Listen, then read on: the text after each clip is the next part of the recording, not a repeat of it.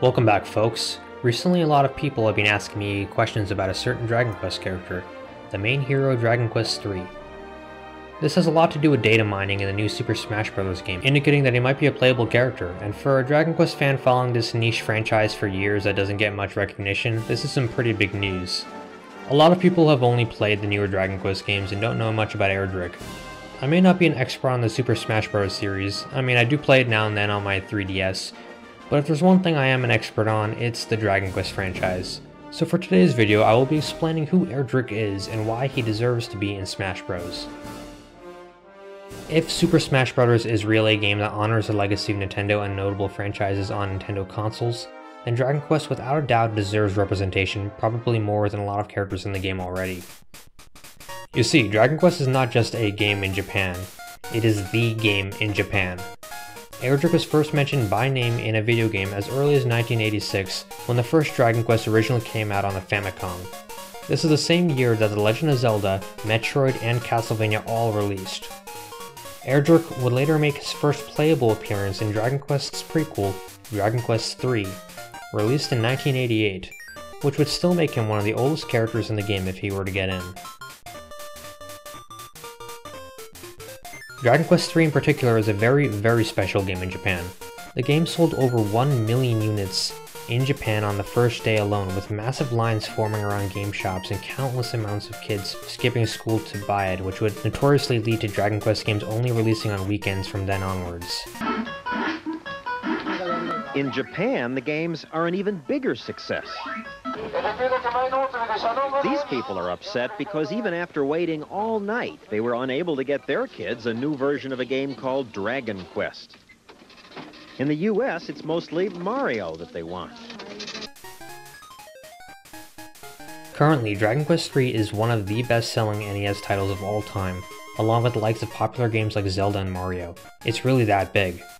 Additionally, it is so big that in the book Power Up by Chris Kohler, all about the Japanese gaming industry, he refers to Dragon Quest creator Yuji Horii as the Steven Spielberg of video games, with celebrity status even above the likes of Shigeru Miyamoto. You know how your mom calls everything a Nintendo even if it isn't one? Well, Japanese parents usually refer to video games in general as Dorakue. They just call every video game Dragon Quest out of habit because of how big it is over there. Additionally, the game Dragon Quest III was released many times over, remade on the Super Famicom, the Game Boy, smartphones, the 3DS, and PS4. Since the franchise's creation, Nintendo even opted to publish the games themselves in Western territories, so they've had direct involvement with the series in the past. Erdrick as a Smash Bros. character makes more sense to me than a character like Solid Snake, for example. Yeah, there was a Metal Gear game on NES, but nobody cares about that game. His franchise jumped ship to PlayStation and never looked back. Meanwhile, Dragon Quest has always been at home on Nintendo consoles. Even games that were exclusive to PlayStation eventually made their way back to Nintendo. You can currently play every single mainline Dragon Quest game from 1 to 11 on the 3DS, which is really amazing.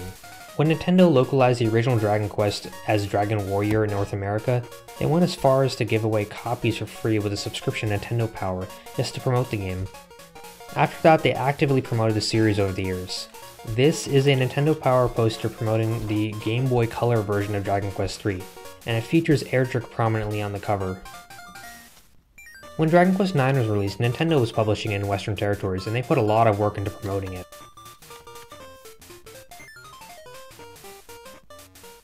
Dragon Quest IX from Square Enix debuted in Japan exclusively on Nintendo DS.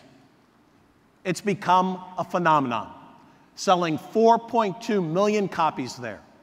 Horii-san and Ichimura-san have been kind enough to spend some time with me for this installment of Iwata Asks. Dragon Quest IX, the overseas release edition. Yes.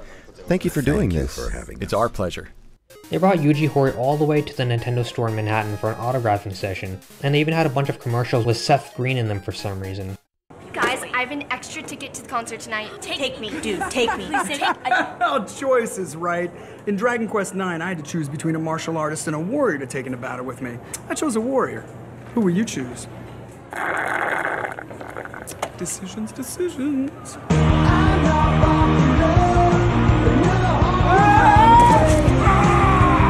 Choose your posse, your weapons, your strategy. The adventure is yours. Dragon Quest IX, Sentinels of the Starry Skies. Rated everyone 10 and up. So not only has Nintendo had an active role in promoting Dragon Quest over the years, but the franchise is so popular that it tops the charts in Japan and is a common household name over there. It's an iconic franchise that is also one of the finest NES titles available. Dragon Quest III has such great source material they would be working with that Erdrick would honestly be a really cool character. Here's a little bit about him that you should know. To start off, Erdrick is not the actual name of a character. In Dragon Quest lore, Erdrick is a title given to a hero who saves the world from some threat so there are actually multiple characters in the Dragon Quest franchise named Erdrick. However, when people mention Erdrick, they usually mean the main protagonist of Dragon Quest III. You see, the original three Dragon Quest games are known as the Erdrick Trilogy. The first Dragon Quest game sees a protagonist known as the descendant of Erdrick, following in his ancestors' footsteps to defeat his old foe, the Dragon Lord. And Dragon Quest II has you play as the three descendants of the first protagonist, who are also descendants of Erdrick as a result. Both of these games, especially the original, treats Erdrick as a legendary icon who once saved the world, and the characters in the game expect great things out of his descendants. You constantly hear about Erdrick throughout the game, with legends about him hailing from the heavens. In Dragon Quest III, you finally play as Erdrick and you learn how he gained the title.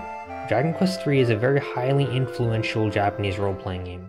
It is one of the earliest examples of an open world game. You can quite literally go anywhere in the game world you want, as long as you can reach it. The game emphasizes exploration and travel. You can venture across the sea, trek across deserts, search tombs for treasure, and solve mysteries by talking to townspeople. It is beyond ambitious for its time. It even has a job system that allows you to mix and match to combine different aspects of jobs with each other, and this game predates Final Fantasy III by two whole years. Dragon Quest III is the game that did the job system first. The game just keeps throwing curveballs at you every step of the way and I really do like it a lot. Erdrick as a character also has an awesome iconic design. He wields a legendary weapon known as a Sword of Light, which has been passed down by various heroes throughout time, and it has a mysterious past. Guess what else? The Sword of Light made its debut in 1986, five years before the Master Sword first appears in The Legend of Zelda Link to the Past. So it's actually even older than the Master Sword, and it just looks so cool. The heroes of Dragon Quest also have a variety of abilities. They can use various weapons including boomerangs, swords, knives, and even magic. In conclusion, Erdrick is a very influential and iconic Nintendo character, and I'm just amazed that after all these years, he has never been included in Super Smash Bros. And Square Enix instead provided Cloud, who is more of a PlayStation character to be honest. Needless to say, I'd be very happy if Erdrick got announced for Smash Bros. soon, as it has been overdue for a long time. I hope you guys enjoyed the video. I wanted to thank you guys for so much for helping me get to 500 subscribers recently. No joke, it really means a lot to me that so many people enjoyed my videos, and I never expected to get here that fast. So once again, thanks for all your support everyone, and I hope to continue making more videos for you soon. See you next time.